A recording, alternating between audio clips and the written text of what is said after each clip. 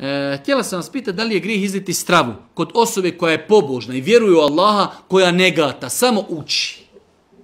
Da li je grijeh izlijeti stravu? Izljevanje strave nije ispravan i validan šerijetski način liječenja. Završena stvar.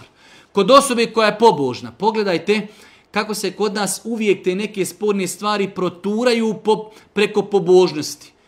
Čovjek sihriva, zapisuje, ali kaj je pobožan. Kakva njegova pobožnost radi sa šetanima. Uništio stotine brakova. Naudio stotinama ljudi kaj je pobožan. Ama to je pokvarenjak na stotu.